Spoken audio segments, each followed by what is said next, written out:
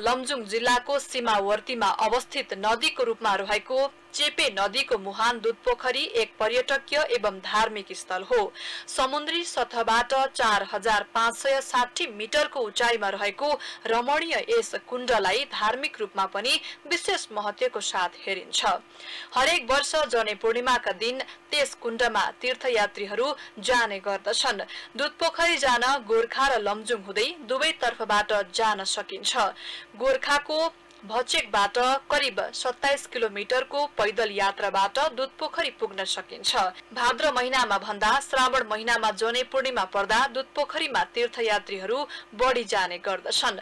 उच्च लेक भएकाले भाद्र महिनामा फूलहरूको गन्धबाट श्वास लिन कठिन हुन्छ भन्ने मान्यता रहेको पाइन्छ।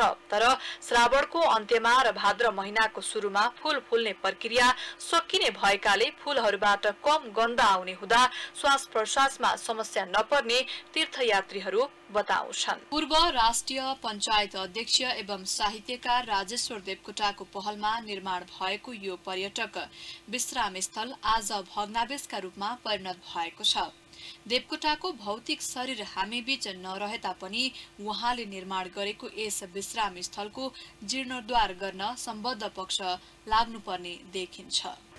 यसै क्षेत्रमा दुध पोखरीको तीर्थयात्रा गर्ने प्रसङ्गमा लिएर आउँदा यहाँ बाँसको असास असाध्यै गाह्रो छ कठिन छ।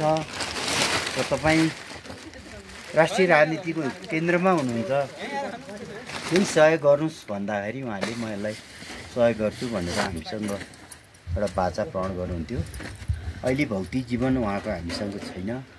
तर उहाँले बनाएर छोड्नुभएको संरचना यो अवस्थामा रहेछ।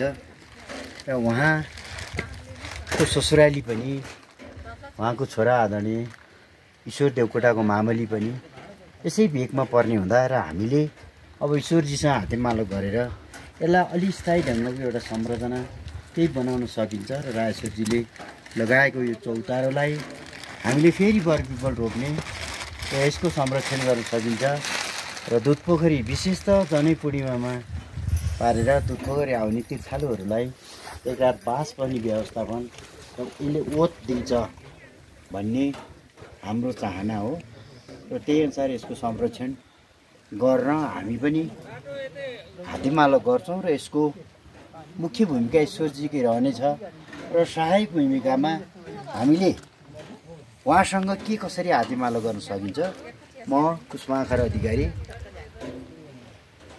त्यसको लागि र मेरो नजिकका साथीहरू आफन्त नाता पोताहरूसँग पनि मैले यो विषयमा जानकारी गराउनेछु